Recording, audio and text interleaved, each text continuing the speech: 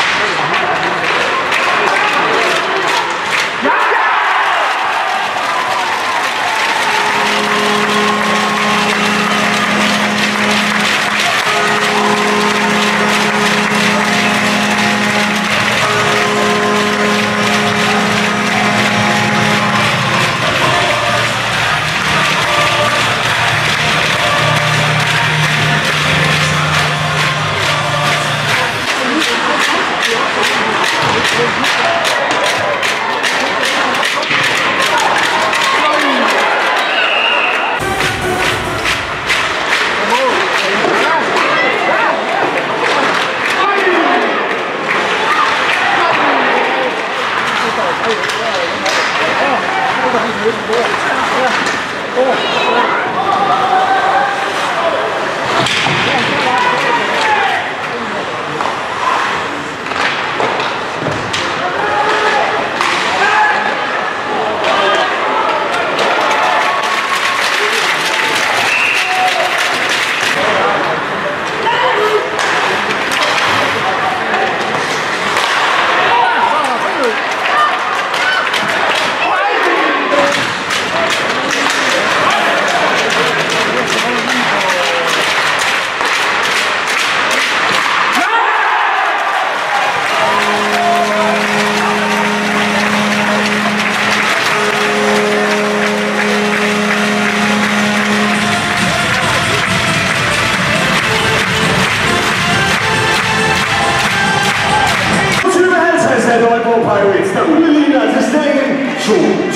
Volante Pessoa,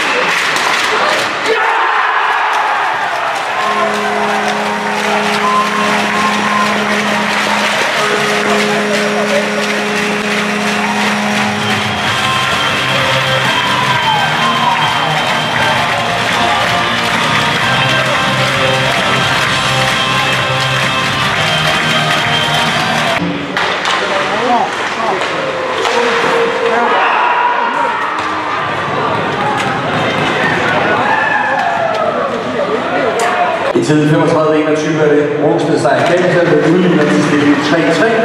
Målet blev scoret til nummer 76 til Adi, assisteret af nummer 3, Shane Hanna.